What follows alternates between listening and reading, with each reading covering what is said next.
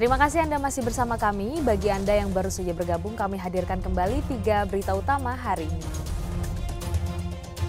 Bermaksud menolong temannya yang tenggelam, seorang wisatawan malahan terseret ombak besar pantai Kapitol di Kabupaten Sukabumi sehingga ditemukan tewas.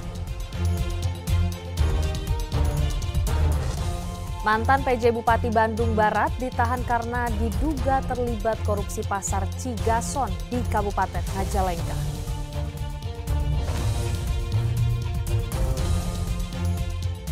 Seorang mahasiswa menjadi bandar sabu-sabu di Kota Bogor, pelaku terbongkar dari pengiriman paket narkoba.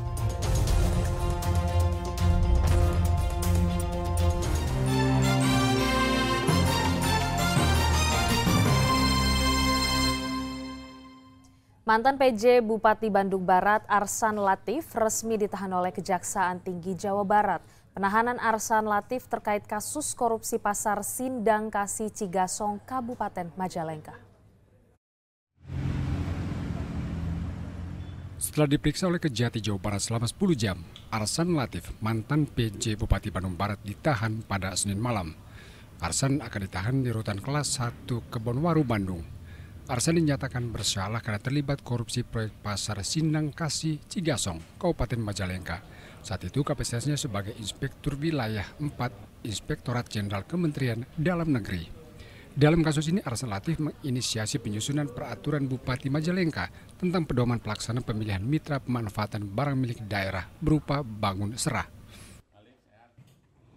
Saudara L telah secara aktif menginisiasi penyusunan peraturan Bupati Majalengka tentang pedoman pelaksanaan pemilihan mitra pemanfaatan barang milik daerah berupa bangun guna serah dengan memasukkan ketentuan persyaratan di luar ketentuan Permendagri nomor 19 tahun 2016 tentang pedoman pengelolaan barang milik daerah dan PP nomor 27 tahun 2014 tentang pengelolaan barang milik negara atau daerah.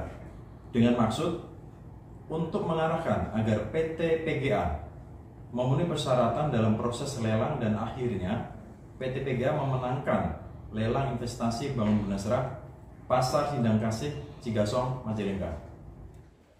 Dalam perkara korupsi Pasar Cigasong terdapat empat tersangka, di antaranya Andi Nurmawan, Maya, anak mantan Bupati Majalengka, Karna Sobahi, serta Kepala BPK SDM PMK Majalengka Irfan Nur Alam. Para tersangka dijerat dengan pasal berlapis Undang-Undang Nomor 31 Tahun 99 tentang Pemberantasan Tindak Pidana Korupsi dan Undang-Undang RI Nomor 20 Tahun 2001 tentang perubahan atas Undang-Undang Nomor 31 Tahun 99 tentang Pemberantasan Tindak Pidana Korupsi. Muhammad Rizal melaporkan dari Kota Bandung. Polisi menangkap seorang mahasiswa yang menjadi bandar sabu-sabu di Kota Bogor. Di lokasi lain, polisi juga menangkap pasangan suami istri yang menjadi kurir sabu-sabu.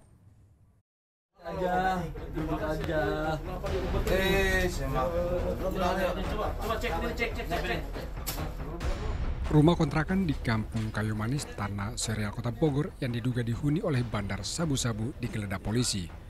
Dugaan polisi ternyata benar. Dari hasil penggeledahan ditemukan sabu-sabu dengan berat 300 gram dan 150 gram paket ganja. Barang haram ini disembunyikan para pelaku di dalam lemari. Belakangan diketahui pelaku merupakan seorang mahasiswa. Penggerebekan bermula dari informasi adanya transaksi sabu-sabu melalui jasa ekspedisi yang dikirim dari Medan ke alamat tersangka. Di lokasi berbeda, polisi juga menangkap pasangan suami istri yang merupakan kurir sabu-sabu. Pasutri ditangkap di Kelurahan Cikaret, Kota Bogor. Sang istri yang baru saja menghirup udara bebas kembali dihukum dengan kasus yang sama bersama suaminya. Ada pula modus yang dikirim melalui jasa ekspedisi. Ya. Dari jasa ekspedisi dimoduskan bahwa di dalamnya itu pakaian, ternyata di dalam pakaian itu dibalut dengan aluminium foil supaya tidak terdeteksi. Uh, ternyata di dalamnya adalah ganja. Dan dalam operasi antik yang sudah digelar selama sepekan, polisi menangkap 26 orang dengan barang bukti 491 gram sabu-sabu serta 2,1 kg ganja. Para tersangka dijerat dengan Undang-Undang Narkotika yang ancaman hukumannya mulai dari 5 hingga 20 tahun penjara. Iwan Kurniawan melaporkan dari Kota Bogor.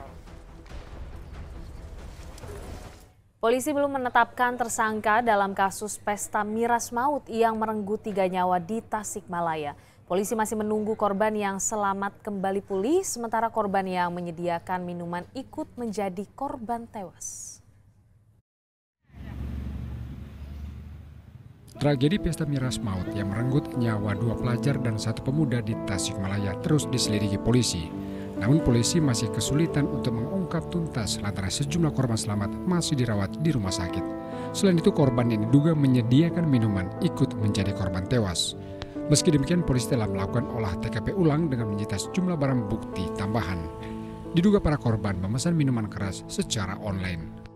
Kemarin dari tim Unapis kembali eh, mendatangi TKP kembali dan didapati beberapa eh, barang bukti tutup botol dan uh, bekas kemasan uh, apa namanya jamu atau apa yang mungkin diduga uh, para korban mengkonsumsi uh, minuman tersebut ya. Dari pendidikan tersebut uh, saat ini ada dua yang masih kita tunggu perkembangan kondisinya. Yang salah satu masih dirawat rumah sakit dan belum bisa kita mintain keterangan secara maksimal. Namun dari keterangan yang ada dari saksi e, masyarakat yang melihat bahwa memang sebelumnya dari pihak e, mereka melihat memang ada sekelompok e, orang yang berkumpul kemudian ternyata esoknya diketahui bahwa ada beberapa e, orang yang meninggal yang hmm. diduga akibat e, meminum minuman oplosan yang diduga ada kandungan alkohol. Pesta miras mau terjadi akhir pekan lalu. Para korban berjumlah 9 orang menggelar pesta miras di dua lokasi berbeda. Pada lokasi terakhir, seluruh korban nyaris tumbang dan muntah darah. Dua di antara korban tewas adalah pelajar asal daerah Cimanggu, Kecamatan Puspahiang, sedangkan satu korban berasal dari Kecamatan Mangunreja. Eko Setiabudi melaporkan dari Kabupaten Tasikmalaya.